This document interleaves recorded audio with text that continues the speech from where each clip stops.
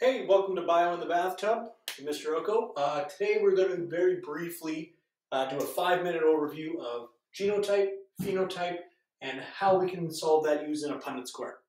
Uh, so just a quick little recap on what a genotype is. Basically, in short version, uh, genotype is two sets of gene alleles that have a dominant or recessive trait.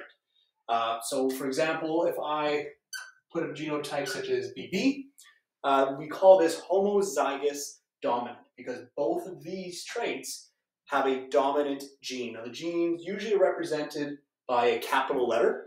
They're dominant, they're larger. Uh, well, another genotype that's similar to it is called homozygous recessive. That's where we see two of the same, but this time they're lowercase letters. Now my B's aren't great, so I'll do a better version. Now in the middle, we have one dominant trait and one recessive, we have something called heterozygous. So we have homozygous, dominant, homozygous, recessive, and heterozygous. Okay? Now we're not going to get into all the differences that will come with later videos.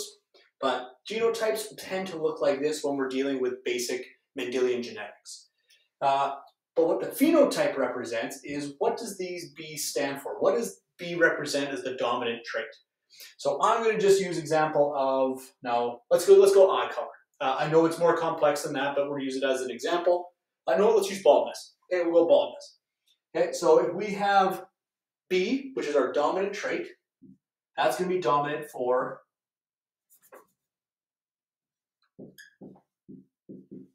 okay, for no baldness. If we have a lowercase b, that is the recessive trait, or sorry, allele for baldness. Now how this works is if we have, uh, so what we're, what we're kind of focusing on specifically is complete dominance. Now there are three other ones we'll get into uh, incomplete dominance and codominance later on in later videos. But for right now, we're talking about complete dominance. So what complete dominance is, is anytime this dominant trait is present in the genotype, this trait takes over. Okay? Uh, and that's what we represent as a phenotype. Now, a phenotype is our physical look. What does it look like? So genotype B, if we have two dominant traits, we have both, means we have no baldness. We have a heterozygous mix here, but we still have that dominant trait, which means we have no baldness because we're dealing with complete dominance. Okay? But the homozygous recessive, where we have two recessive genes, results in baldness because there is no dominant trait to take over. So as a result,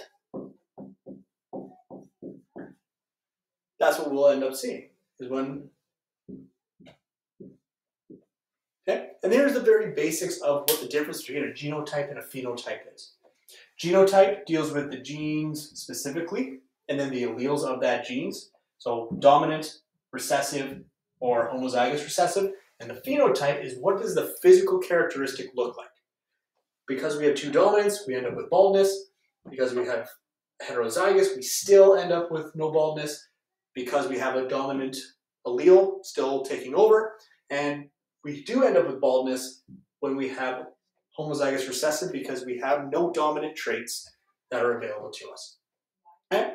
So, as a quick overview of what a genotype versus a phenotype is, in the next video, we're going to look at the Punnett square right here, and we're going to compare when we mix two of these traits, what happens. Okay, so I hope you enjoyed this short video, which is 4 minutes and 30 seconds instead of 5, uh, but I'll see you on the next video looking at the Punnett square.